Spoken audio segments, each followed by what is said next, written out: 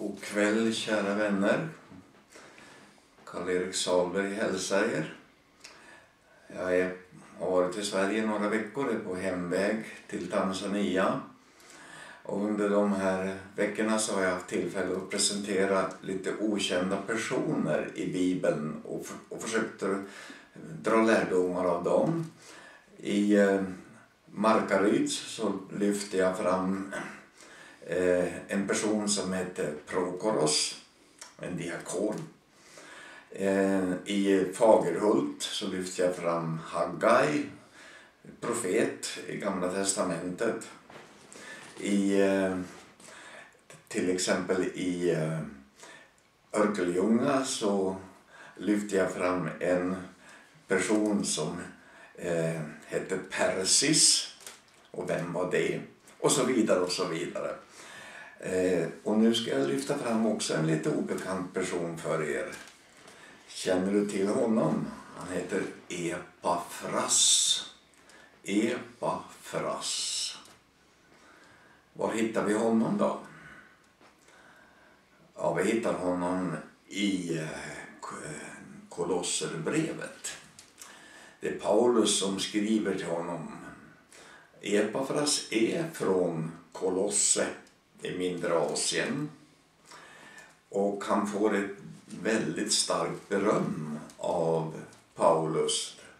Det står så här. Epafras är en Kristi Jesu tjänare som ständigt kämpar för er i sina böner.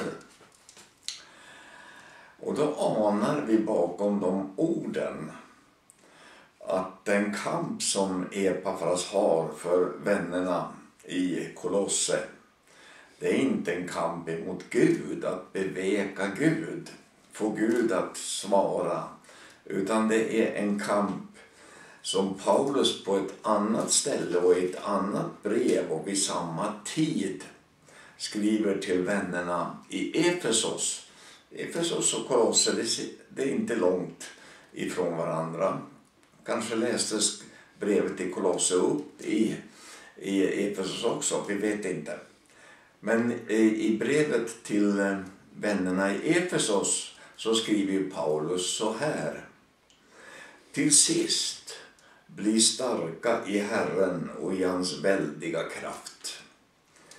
Ta på er hela Guds vapenrustning så att ni kan stå emot djävulens listiga angrepp. Vi kämpar inte mot kött och blod. Nej, det gjorde inte Epafras heller. Utan mot förstarna, mot makterna, mot världshärskarna här i mörkret och mot ondskans andemakter i himlarymderna. Ta därför på er hela Guds vapenrustning så att ni kan stå emot på den onda dagen och stå upprätt när ni fullgjort allt. Stå alltså fasta med sanningen som bälte runt, era, runt höfterna och klädda i rättfärdighetens pansar. Bär som skor på era fötter den beredskap som fridens evangelium ger. Ta dessutom trons sköld. Med den kan ni släcka den ondes alla brinnande pilar.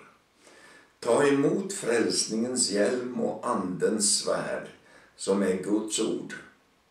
Gör detta under ständig bön och åkallan och be alltid i anden.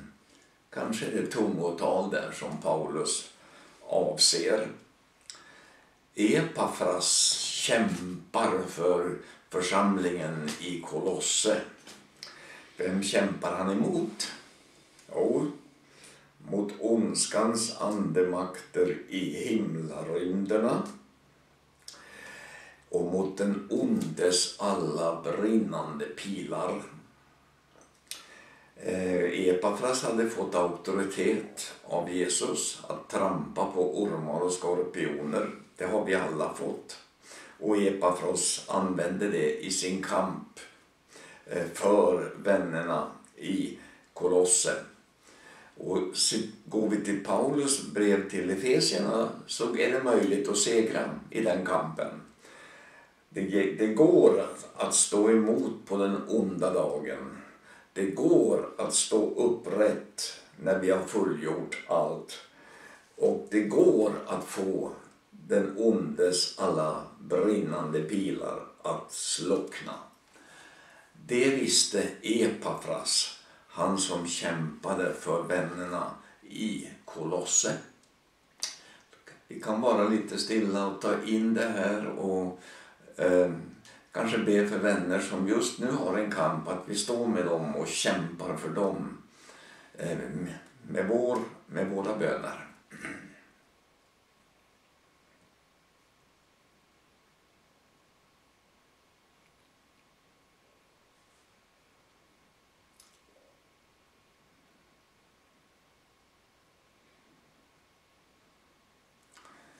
Så förenas vi alla i Fader vår.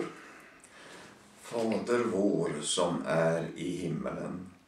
Helgat varde ditt namn. Tillkom ditt rike. Ske din vilja så som i himmelen så och på jorden. Vårt dagliga bröd giv oss idag och förlåt oss våra skulder så som och vi förlåta dem oss skyldiga äro.